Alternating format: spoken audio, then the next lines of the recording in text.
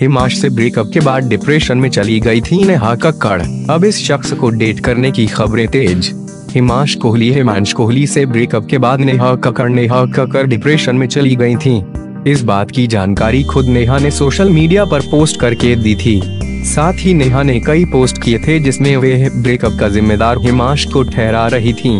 वहीं अब ऐसी खबरें आ रही हैं कि नेहा कक्कड़ इन दिनों इंडियन आइडल कंटेस्टेंट को डेट कर रही हैं। नेहा और कंटेस्टेंट के अफेयर की खबरें खूब वायरल हो रही हैं। मामला बढ़ता देख अब इस कंटेस्टेंट का बयान आया है खबरों की माने तो Neha Kakkar Indian Idol Indian Idol के कंटेस्टेंट विभोर पराशर विभर पराशर को डेट कर रही हैं।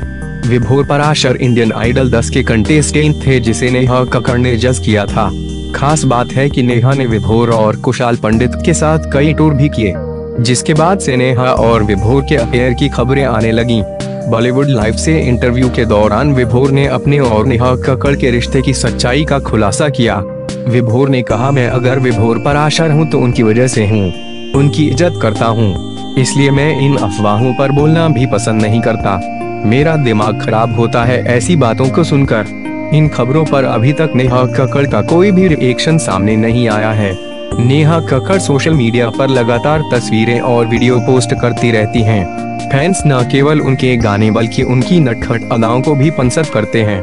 कुछ दिन पहले नेहा ने टिकटॉक पर दिल बर दिल बर गाने पर डांस करते हुए वीडियो शेयर किया था।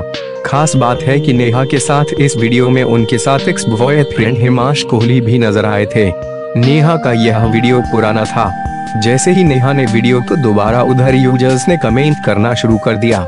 नेहा के फैंस कमेंट्स में लिखते हैं कि नेहा को उनके एक्स बॉयफ्रेंड की याद आ रही है। आपको बता दें, नेहा ब्रेकअप के बाद रियलिटी शो के दौरान ही रो पड़ी थी।